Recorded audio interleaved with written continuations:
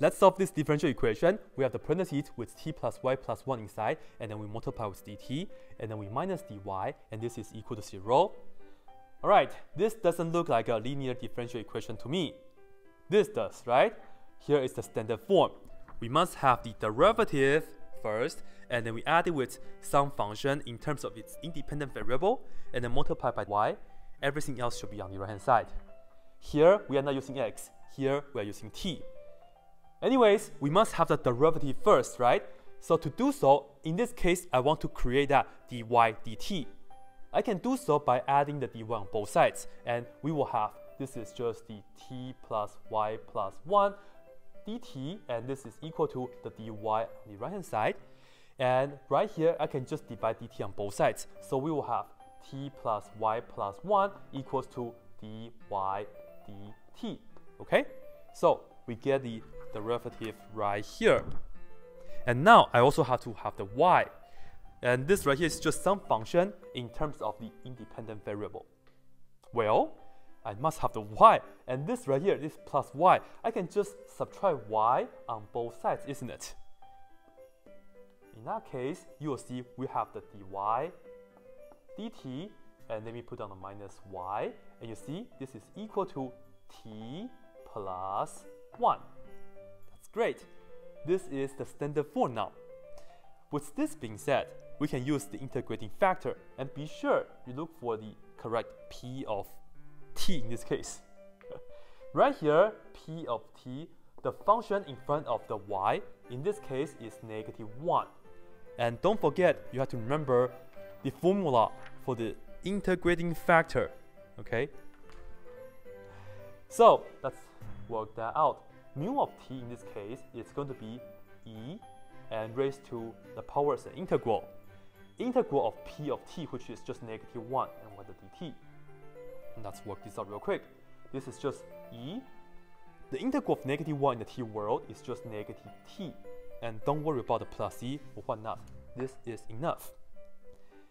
And we come back to here, we multiply everything by the integrating factor, which is e raised to the negative t power, and this is what we will get.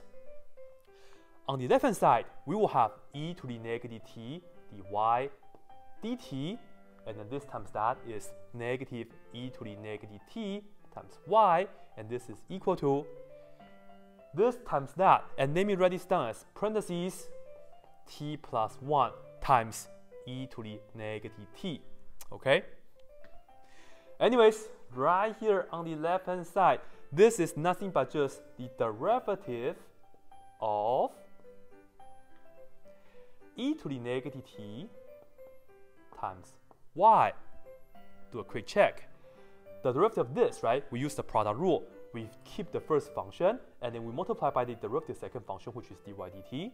And then we add it with, right, we add it with we keep the second function and we multiply by the derivative of the first, which you repeat e to the negative t. But then, right here, because the chain rule, you have to multiply by the derivative of negative t, which is negative 1. That's how it makes this negative. So this right here, we force it to be the derivative of a product, right? And on the right hand side, this is what we have, parentheses t plus 1 times e to the negative t What's next? Get rid of the derivative, right? So we can just integrate and we'll integrate both sides. So that this and that will cancel. Right here, we'll just have e to the negative t times y. Don't worry about the plus c. This is equal to the integral of t plus 1 e to the negative t. What do we need to do? Integration by part, right? And in that case, of course, I'll show you guys with the DI method. And let me do that real quick right here for you guys. This is why I keep it as, as a parenthesis, because I want to differentiate this, which is t plus 1. Okay, and I'll integrate e to the negative t. And don't forget, on the side, I need to have the signs, plus, minus, plus, minus, and three rows will be enough.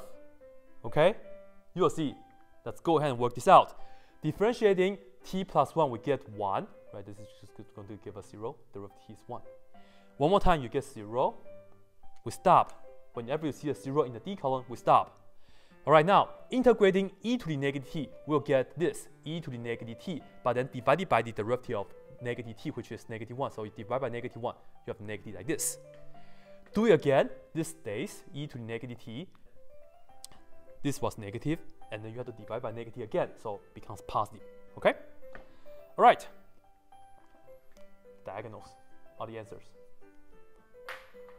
So this right here will give us positive t plus 1 times negative e to the negative t.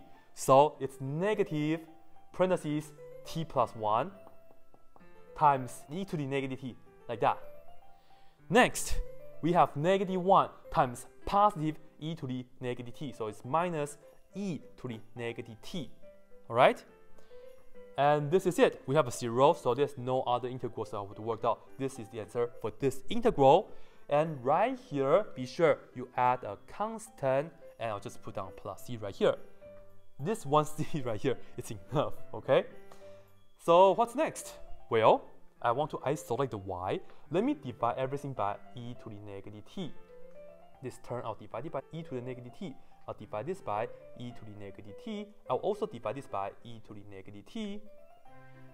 So that this and that will cancel.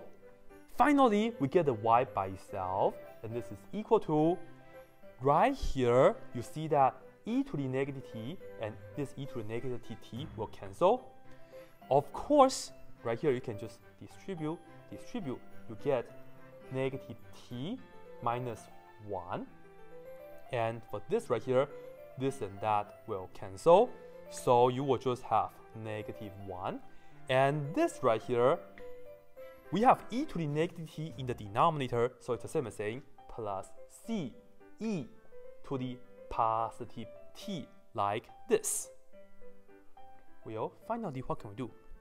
Of course, negative 1, negative 1, that's minus 2. So uh, that's what we can write down at the end, right? So finally, y is equal to negative t minus 2 plus c e to the t's power. And of course, do not say negative 2 plus c, it's another constant. No, this is c times that. So you cannot do anything with the negative 2 and the c. And this right here is it.